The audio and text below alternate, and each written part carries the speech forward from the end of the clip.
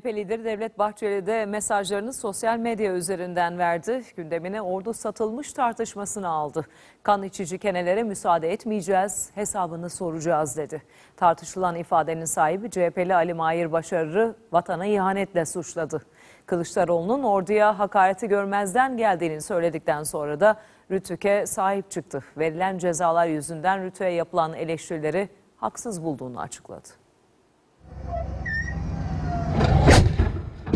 CHP Mersin Milletvekili Ali Mahir Başarır'ın ordu Katar'a satılmış sözlerine ilişkin tartışma sürerken MHP lideri Devlet Bahçeli hesabını soracağız dedi. Şerefli ve kahraman Türk ordusuna satılmış diyenleri unutmayacağız. Demokrasinin ardına saklanıp Türkiye'yi devirmeye azmetmiş kan içici kenelere önemli ifade ediyorum ki müsaade etmeyeceğiz. Bu hesabı soracağız. Mesajlarını sosyal medya hesabından verdi Bahçeli. CHP'li Başarır'ı vatana ihanetle suçladı. Orduya satılmış demek bir defa vatana ihanettir. Hiç kimse bu katıksız ihanete demokrasi maskesi takmasın. İfade özgürlüğü bahanesiyle üzerini örtmeye kalkışmasın. Zehirli mızrak çuvala sığmıyor. Hedefinde sadece Başarır yoktu Bahçeli'nin. CHP Genel Başkanı Kemal Kılıçdaroğlu'na da demokrasi eleştirisi yaptı. CHP Genel Başkanı'nın orduya hakareti görmezden gelip müstevli postacısı milletvekilini savunması, kiralık kalem sahiplerinin rütük kararını tek seslilik, demokrasi ayıbı, sopa gösterilmesi, reform inancını sarstı, hakaret gibi ifadelerle eleştirmeleri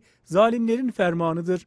CHP'li Başarır'ın o sözleri dile getirdiği televizyon kanalına Rütük en üst sınırdan para cezası vermişti. Bahçeli Rütük'e yönelik eleştirilere sert çıktı.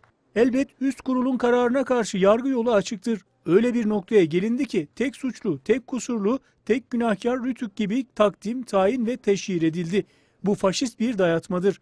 Orduya satılmış diyeni konuşan yok ancak Rütü'ye saldıran pek çok. Çarpıklık işte buradadır.